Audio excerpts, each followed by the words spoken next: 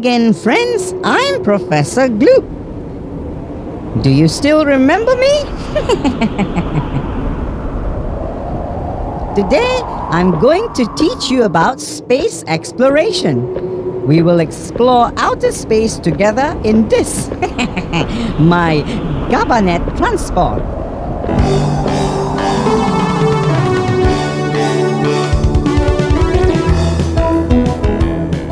Isn't that interesting?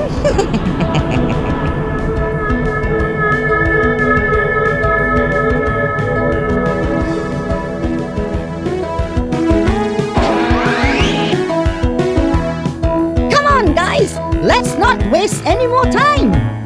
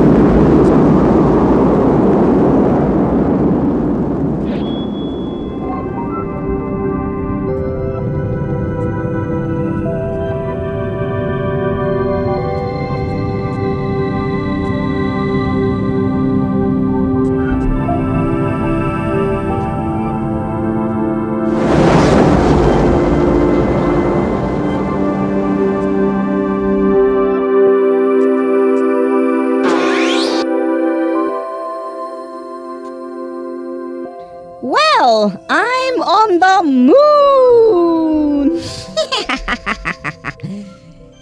In this series, you will learn about the history of space exploration, the technology involved, and of course, we'll look at some famous astronomers too.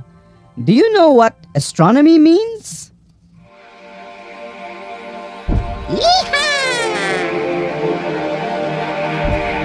Whatcha?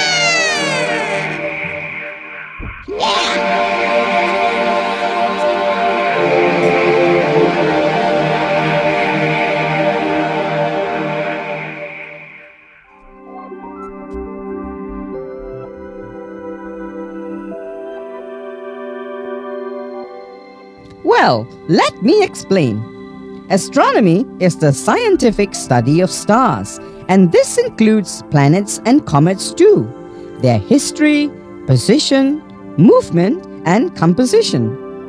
Astronomy is one of the oldest branches of science.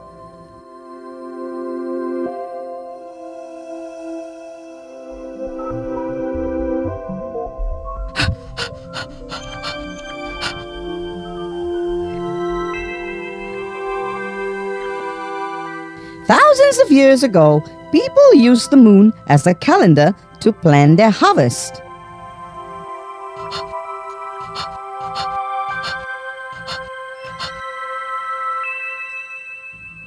The Greeks were one of the first people who tried to explain the objects in space. Aristotle, Pythagoras, and Ptolemy were among the Greek astronomers who were well known during that time. Aristotle, 384 to 322 BC, believed the Earth was the center of the universe and that the Sun and other planets orbited around it. Pythagoras, 580 to 500 BC, was the first person to state that the Earth was spherical and not flat. He said that the Earth seemed flat only because it was extremely large. He believed that the orbit of the planets was circular. Another astronomer was Ptolemy, who lived from 100 to 170 AD. He was well known for his theory that the Earth was the center of the universe and that all other objects revolved around it. His ideas were based on the beliefs of Aristotle. Ptolemy was later proved wrong by Copernicus. He was a famous astronomer from Poland. He is now known as the father of modern astronomy. His theory was that the sun was the center of the universe and that the earth and other planets orbited around it. He also stated that the Earth rotated on its own axis and that the stars were very far away from the Earth. Another astronomer was Johannes Kepler. He came up with Kepler's law. He showed that the orbitary motion of planets was elliptical and not circular as widely believed.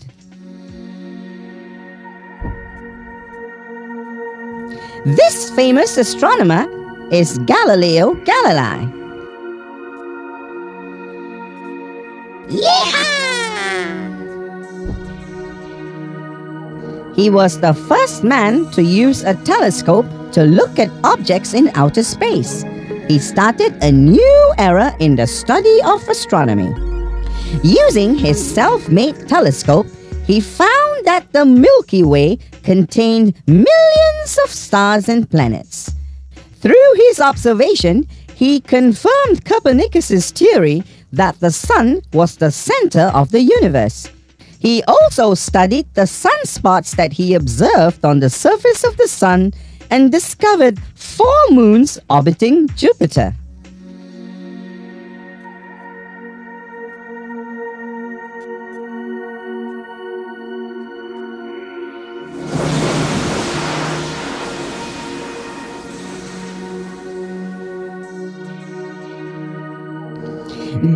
Know that astronomy was widely studied by Muslim astronomers from the 8th to the 14th century?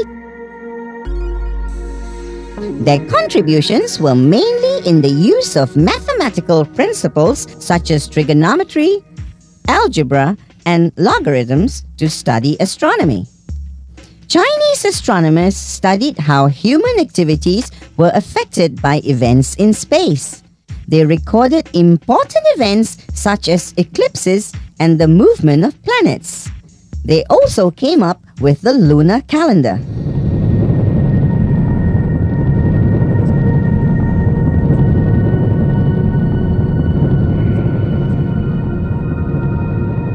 Okay, now let us look at a few more modern day astronomers.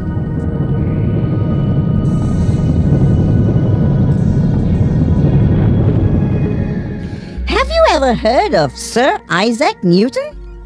He lived from 1642 to 1727 and was one of the most famous English astronomers. Hmm, he discovered gravity and explained the movement of the planets around the sun. He explained that planets were able to move in their own orbits because of the force of gravity between themselves and the sun. Another modern day astronomer was Edmund Halley. He lived from 1656 to 1743. He was the first astronomer to make a scientific forecast on the emergence of comets.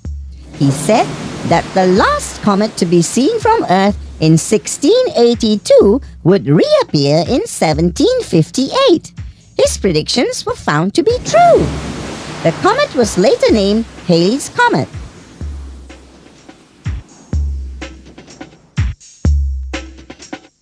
Sir William Herschel, 1738 to 1922, discovered the planet Uranus. He also discovered the shape of a galaxy. Johann Galle discovered Neptune in 1846. And Clyde Tombaugh discovered the last planet in the solar system, Pluto, in 1930. And in 1923, Edwin Powell Hubble proved the characteristics and the existence of galaxies.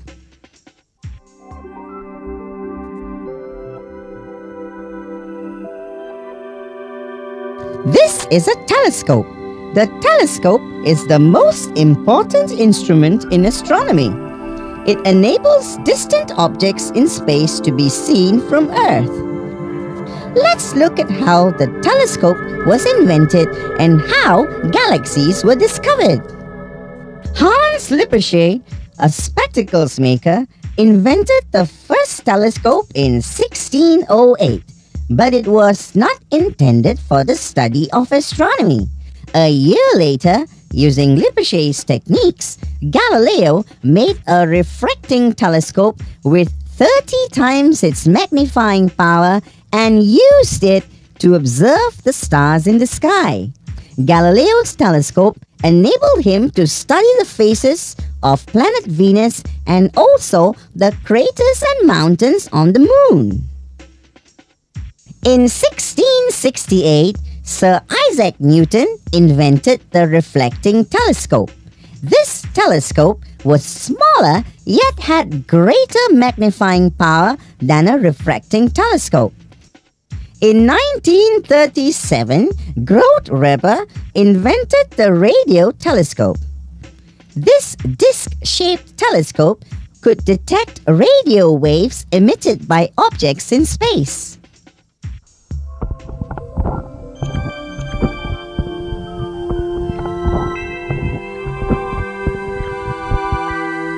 Outer space is the region beyond the Earth's atmosphere.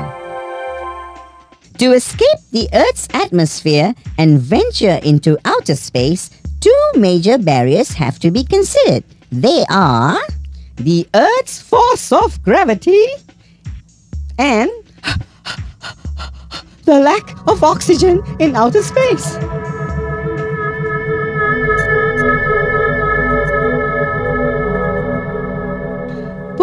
Problems were solved when Robert Goddard, an American, managed to launch a rocket into outer space using liquid fuel. His rocket moved at a speed of 11 kilometers per second to escape the pull of gravity and it had its own supply of oxygen. Since then, many rockets have been launched by America and Russia. These rockets were used to send man-made satellites to orbit Earth. Rockets were used to launch satellites to improve communication between the continents, to obtain information for weather forecasts, and for astronomers to study the Earth and other objects in space. In 1957, the Russians sent the first man-made satellite into outer space, Sputnik 1. In the same year, Sputnik 2 was launched.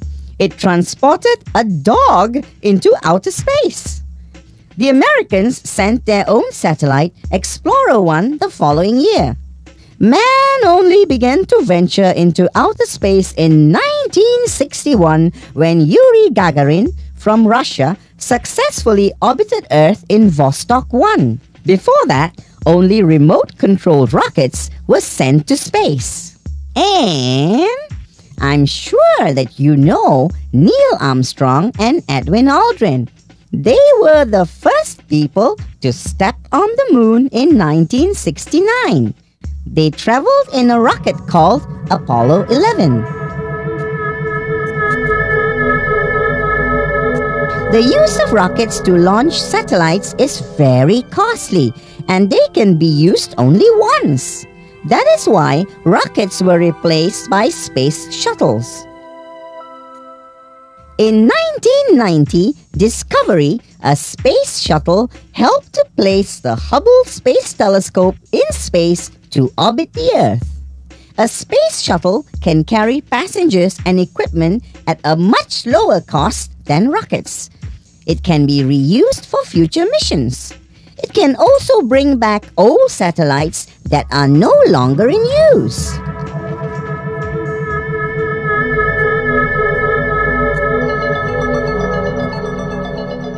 Space telescopes are powered by solar energy. They enable man to see distant objects more clearly than when viewed with telescopes on Earth. Astronomers need not be in space to use the telescopes as it can be remote controlled from Earth. Information that is received by the Space Telescope is sent using radio waves through communication satellites and base stations on Earth.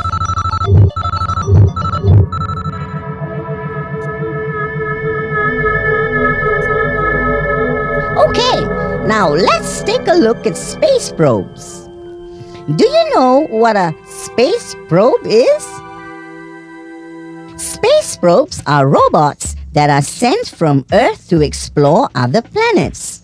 Space probes can land on the surface of the moon or even on planets and photograph them. The first space probes were sent to the moon by Russia in 1959. Later, probes were sent to Saturn, Uranus, and also Neptune. Information gathered by a probe is changed to radio waves and sent back to Earth through radio telescopes.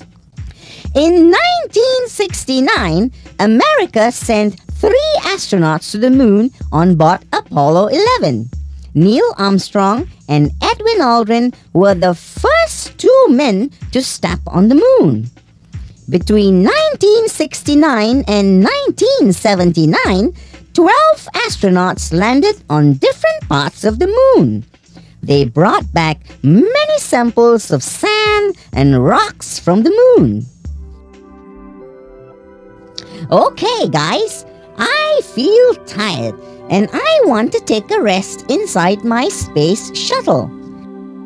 Before I go, let's recall what we have learned today.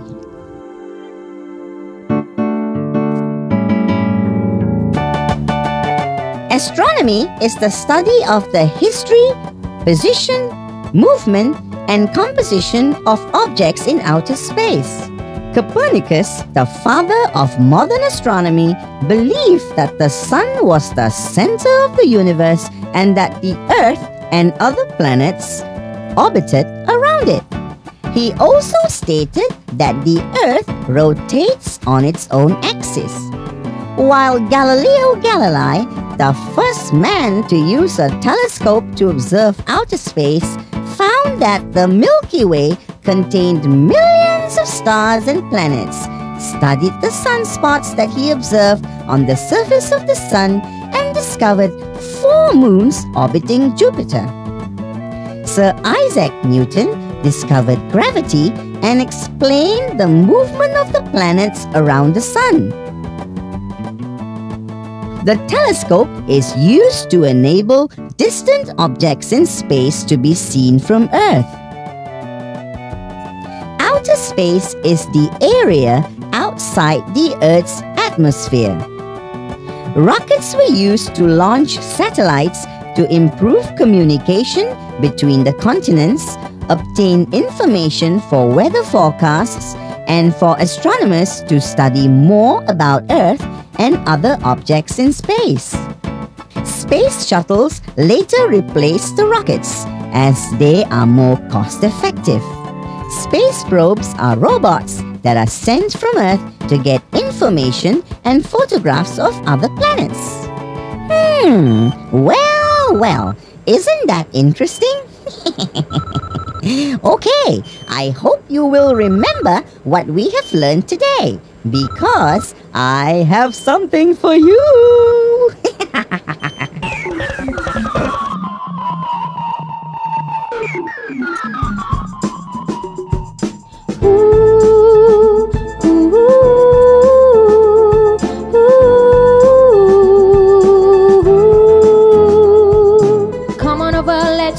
For a ride. Come on over and hold on tight. Come on over, we'll fly into space. So come on, come on, come on. Get in my ship, we're gonna make a trip into the galaxy. There's so much things to see. We'll zoom up to the sky and you can fly real high. Go past the satellite and watch a meteorite. I've got a telescope to help you see so far across the universe, and you can see a star. We'll be in outer space, we've got a lot of space, so come on, come on, come on. Mercury, Venus, Earth, they are the first three. Mars, Jupiter, Saturn, forever they will be. Uranus, Neptune, Pluto, the rest of the gang. They're all the nine planets that circle the sun.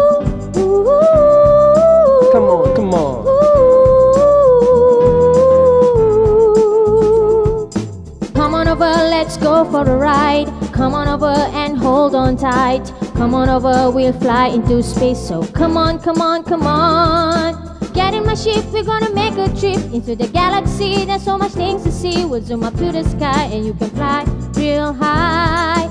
Go past the satellite and watch a meteorite. I've got a telescope to help you see so far across the universe, and you can see a star. We'll be in outer space, we've got a lot of space, so come on, come on, come on.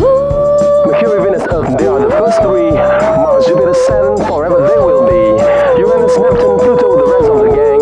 They are the nine planets that circle the sun.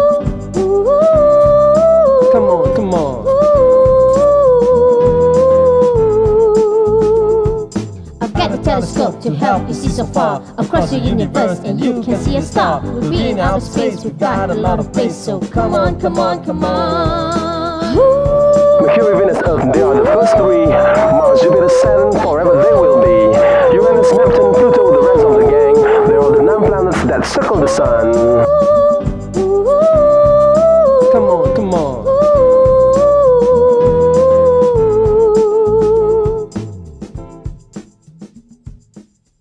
Bye bye! See you in the final episode of Space Exploration. Bye! Bye bye!